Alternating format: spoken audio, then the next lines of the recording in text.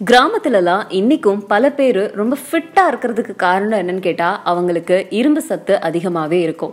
அவங்க மண்ணில் இறங்கி வேலை செய்கிறதுனால கால்சியம் அவங்களுக்கு தானாகவே கிடைக்கும். அவங்க எடுத்துக்கிற இயற்கை உணவுகளால் அவங்களுக்கு நார் சத்து ரொம்ப ஈஸியாக கிடைக்கும்.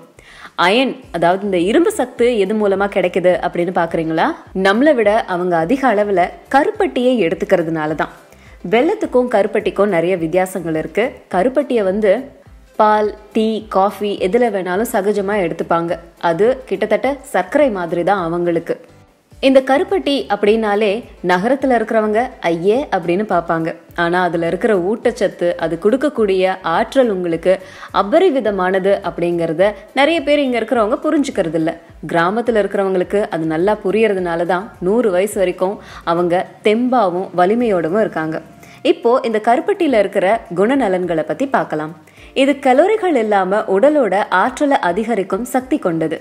ஆனா தற்போது பயன்படுத்துற சர்க்கரையில கேலரிஸ் அப்படிங்கிறது அதிகமா இருக்கு. அதை மறந்துடக்கூடாது.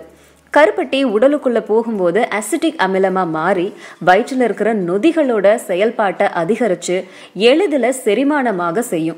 இதுவே கான்ஸ்டிபேஷன் அப்படின்னு சொல்லப்படுற மலச்சிக்கலையும் தடுக்குது.